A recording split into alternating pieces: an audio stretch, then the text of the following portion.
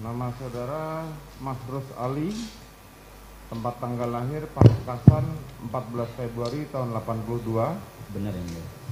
jenis kelamin laki-laki, agama Islam, pekerjaan Cukup ya. penguji eksternal, dosen S1, S2, S3, SH UII, penguji eksternal program dokter SH UGM, bidang keahlian hukum pidana, hukum pidana lingkungan, hukum pidana khusus, pidana iptek, victimologi, kebijakan hukum pidana, penologi, hukum pidana Islam, dan metode penelitian hukum.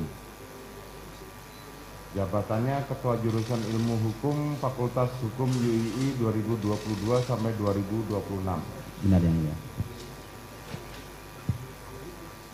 Saudara kenal dengan para terdakwa? Tidak kenal yang mulia. Baik, tidak ada hubungan keluarga juga ya. Tidak ada yang. Baik, saudara sebelum memberikan eh, pendapat, saudara silahkan diambil sumpahnya terlebih dahulu. Silahkan. Izin yang mulia.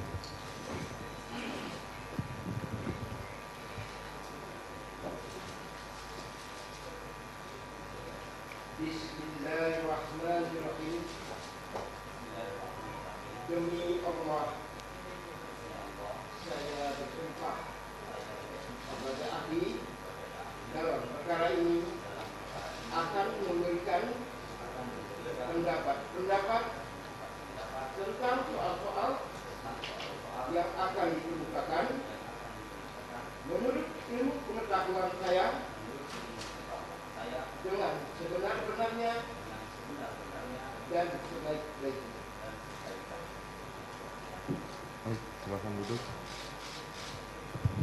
Ya, saudara ahli, saudara sudah disumpah, jadi saudara telah memberikan keterangan. Sebelum saya itu saya tanya kepada penasihat hukum terdakwa, apa yang hendak dijelaskan oleh ahli ini, saudara penasihat hukum? Iya, yang mulia, karena dakwaan dan pembuktian perkara ini terkait dengan 340 KUHP, pembunuhan berencana, 338, Undang-Undang ITE dan 221 terkait dengan obstruction of justice dalam kerangka pidana, maka ahli ini berdasarkan pengetahuannya dapat menjelaskan konstruksi soal bagaimana hukum pidana melihat pembunuhan berencana dan hubungannya dengan unsur-unsur di dalamnya dan kaitan dengan cara pembuktiannya di peradilan. Oke. Eh, saya berikan kesempatan pertama pada penasihat hukum untuk bertanya dan saya berikan waktu satu jam 15 menit. Ya, silakan ditanyakan.